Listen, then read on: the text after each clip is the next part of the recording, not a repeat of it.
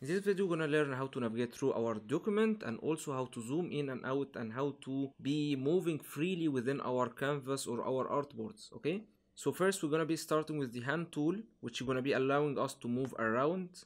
And the shortcut for the hand tool is H on keyboard or holding the spacebar and this tool will allow us to move around through our artboard or different artboards to move uh, right or left up and down and also if you're using a mac computer you can be using your trackpad with two fingers to move around instead of the hand tool which is really handy and one of the great advantages of the mac computers.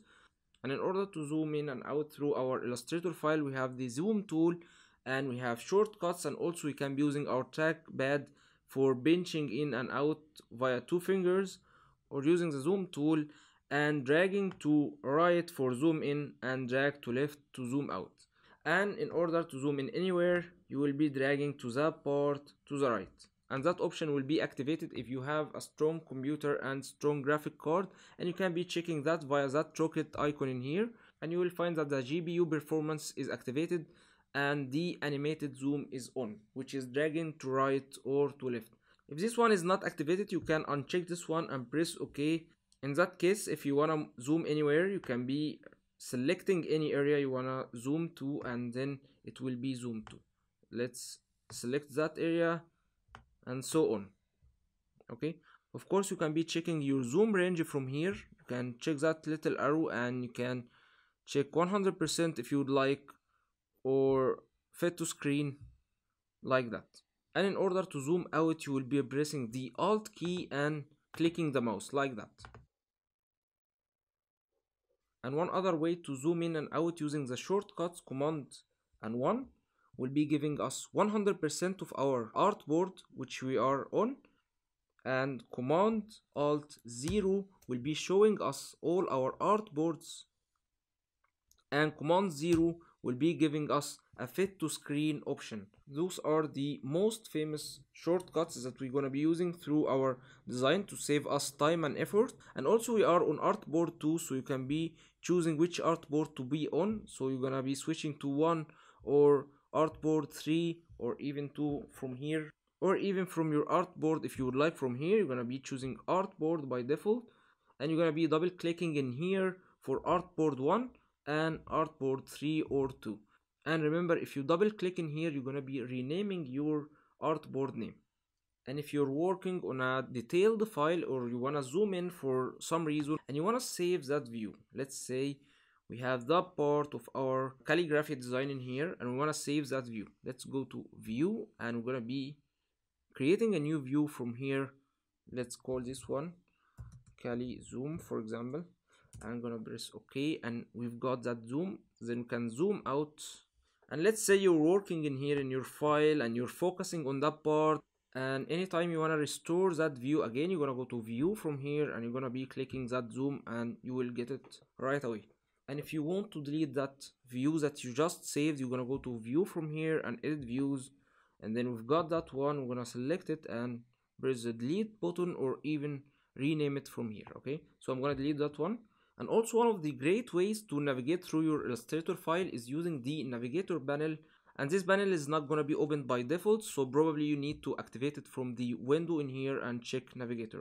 And as you can see this rectangle is representing your screen so anywhere you wanna zoom in or move to for quick access you can be using that one.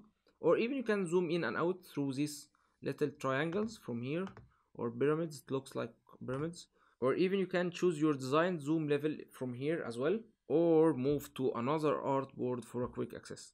And if you want to change that screen color you can go to uh, that little hamburger menu and press on panel option. You're gonna be seeing your view box color. You can be choosing any custom color or one of these swatches okay? So that's it for the navigator panel.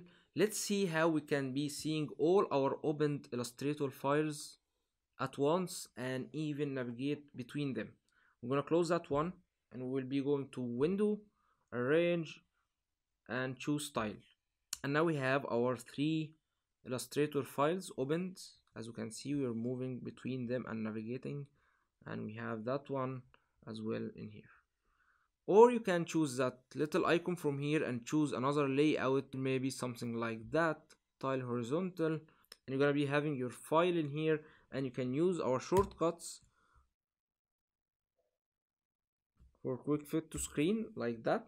This is another way to see all your design files. Maybe move some elements between them. Maybe i want to move that logo to another file. I'm gonna be moving it like that and it's gonna be copied and pasted in the same illustrator file in here leaving the original file as it is in its place and even to hide these panels for another preview and save us more space we can be using our tab on keyboard like that to hide these panels and pressing another tab to bring them back.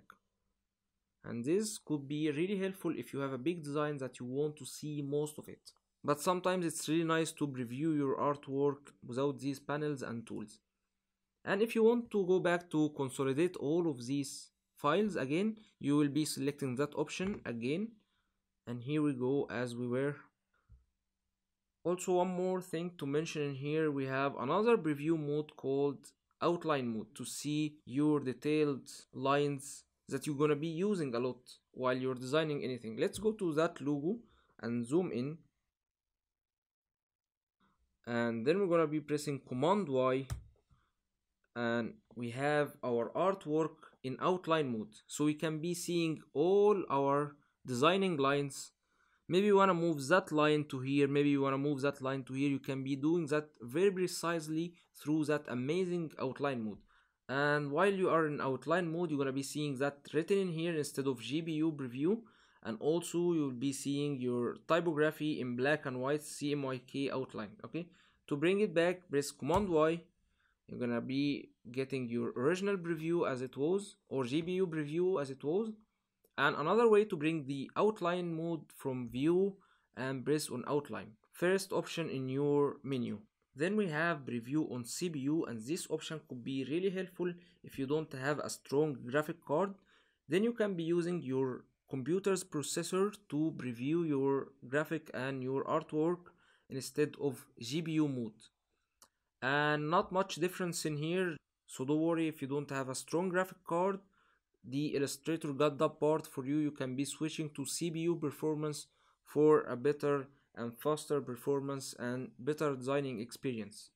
And also another hint and you don't have to really memorize all these uh, shortcuts for zooming in and out and all that. You can find a quick access for shortcuts from here view and you're gonna be seeing outline and shortcut in here preview on CPU overprint preview this will be helpful if you are working on a file that you're gonna be printing later and also pixel preview. And this could be very important when you're exporting your vector file to raster or pixel eventually. If you want to check your pixel preview you can check that from here.